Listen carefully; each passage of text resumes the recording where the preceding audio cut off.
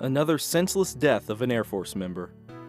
This young airman didn't die from a vehicle accident, a fall, or a thousand other accidents that happen to airmen every year. He died from an easily preventable injury if only the warnings had been seen. By who? His supervisor, his buddies, and his own body. What did this young airman succumb to? Heat stress. Every year, we lose many seemingly healthy airmen to heat stress, regardless of age, athletic ability, or type of job. Heat stress impacts not only your mission, but your health and safety. Heat stress is often driven by three primary factors environmental conditions, work and rest schedules, and our personal training and nutritional habits. Four environmental factors affect the amount of stress a worker faces in a hot work area temperature, humidity, radiant heat, and wind speed. Individuals with high blood pressure, heart conditions, and people who take water pills may be more sensitive to heat exposure. Heat stress ranges from mild to severe. When the body becomes overheated, a condition of heat stress exists. Many people confuse these disorders, but it is important to be able to recognize each one and know what to do when it happens. This includes fainting, heat rash, heat cramps, heat exhaustion, and heat stroke. Fainting usually happens to someone who is not used to working in the hot environment and simply stands around. Moving around, rather than standing still, will usually reduce the likelihood of fainting. Symptoms include a brief loss of consciousness, sweaty skin but a normal body temperature, and no signs of heat stroke or heat exhaustion. Recovery from fainting can be accomplished by laying the individual down in a cool place, but seek medical attention if the individual does not recover after a brief period of lying down. Most of us have had at least a mild form of heat rash or prickly heat. This skin rash is caused by heat and humidity and normally is cleared up by rest in a cool place. Continued exertion can often lead to cramps. Heat cramps are involuntary muscle spasms that usually occur during heavy exercise in hot environments. They occur when a worker drinks a lot of water but does not replace salts lost from sweating. Heat exhaustion is the mildest form of general heat related illness. Symptoms include dizziness, headache, fatigue, nausea, vomiting, and lightheadedness. Individuals suffering from heat exhaustion will have a normal mental status but individuals showing an altered mental status may have a much more serious condition. Heat stroke is the most serious health problem for people working in the heat, but is not very common. It is caused by the failure of the body to regulate its core temperature. Sweating stops and the body can't get rid of excess heat. Victims will die unless they receive proper treatment promptly. Symptoms of heat stroke include mental confusion, delirium, fainting, or seizures, body temperature of 106 degrees Fahrenheit or higher, hot, dry skin, usually red or bluish color. If an individual is suspected of heat stroke, seek emergency medical assistance immediately.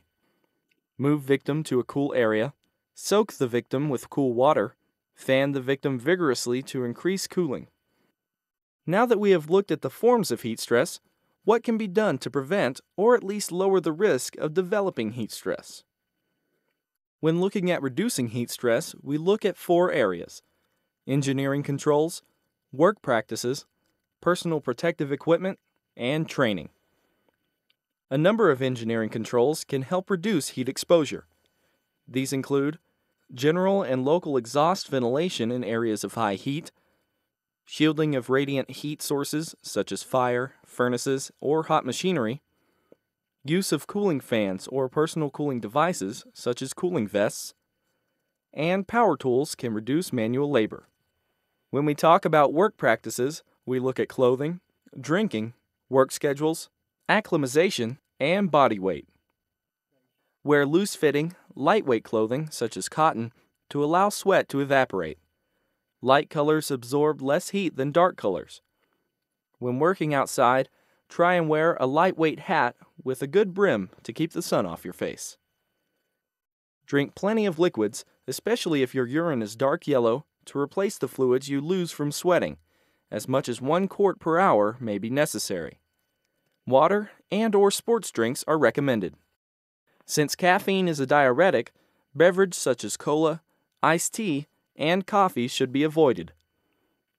Thirst is not a reliable sign that your body needs fluid. When doing heavy work, it is better to sip rather than gulp the liquids, and they should be cool, not ice cold. Alter your work schedules. If possible, heavy work should be scheduled during the cooler parts of the day.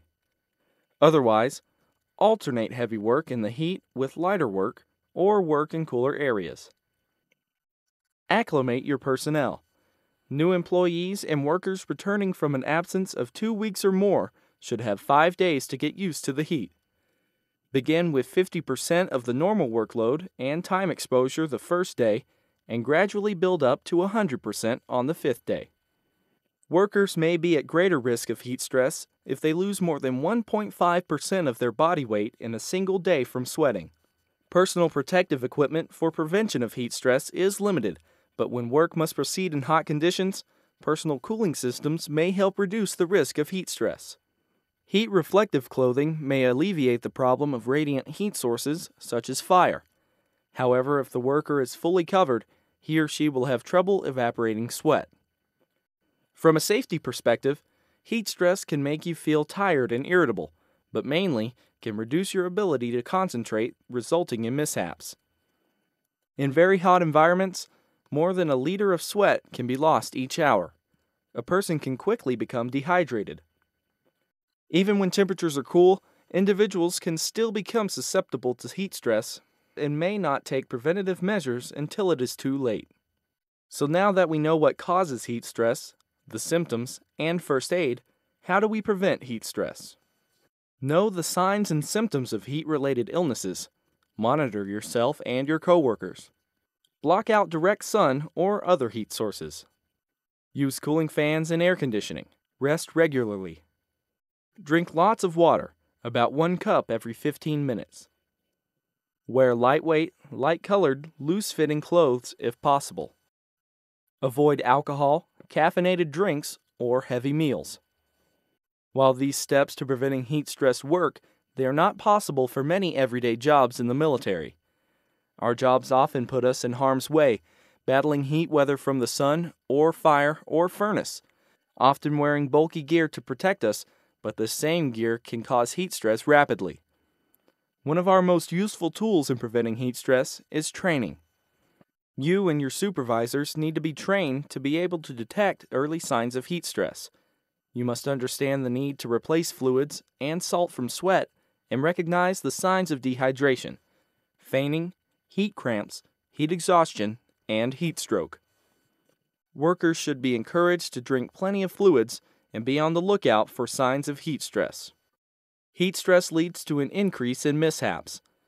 Discomfort, reduced mental acuity, and decline in attention to detail may increase the likelihood of error and associated mishaps.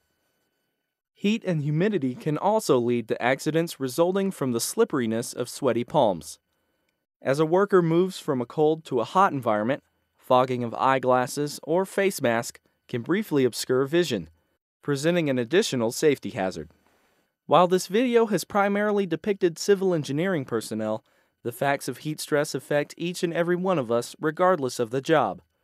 Our personnel today must have the capacity to operate through all environmental extremes, often while wearing cumbersome protective equipment. This is not to imply there is a quick fix to heat stress. Heat stress is a fact of our environment and our own physical limitations.